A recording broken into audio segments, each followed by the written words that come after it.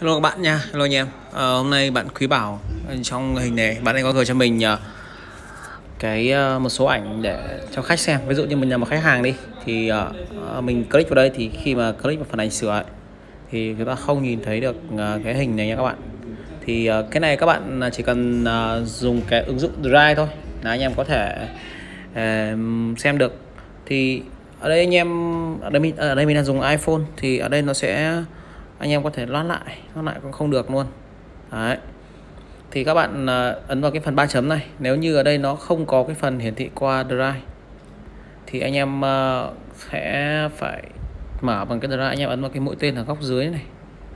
Mũi tên này Đấy, chia sẻ này. Đó.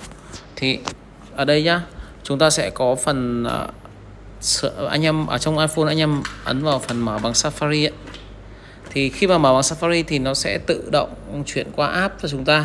Nếu như anh em có tải app Drive nhá khi mà các bạn dùng app Drive ấy, thì sẽ nhìn được hình như như như đây. Anh em có thể nhìn thấy là trong hình này. Chúng ta có thể nhìn được ở đây nhá. Anh em nên nhớ là anh em nên tải cho mình cái app Drive này về nhé các bạn nhé app Drive đây này. Đó. Thì khi các bạn tải cái app Drive này về thì chúng ta sẽ xem được ảnh bình thường nhé sẽ không bị lỗi như ở trong cái ờ, phần met này ở met này không xem được các bạn nhé thì đây là cách sửa lỗi cho iPhone. Còn trên Android thì như anh Xuân Tóc Đỏ anh có chia sẻ là anh em chỉ cần ấn vào mở bằng Drive thôi. Bởi vì trên cái máy dòng máy Android là nó có sẵn cái app Drive của các bạn nhá. Còn trên iPhone thì anh em cần phải tải cái app Drive về nha các bạn. Rồi xin chào mọi người chúc anh em sẽ uh, hướng dẫn khách xem được hình nha các bạn. Đây ở đây vào đây thì không xem được hình rồi. Rồi bye bye mọi người.